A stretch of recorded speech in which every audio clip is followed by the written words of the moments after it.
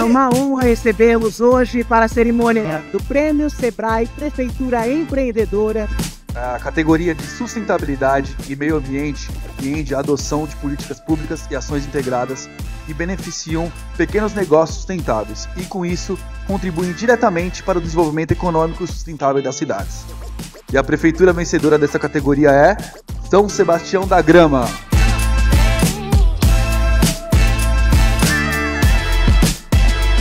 Para nós é muito importante a parceria que nós temos com o Sebrae.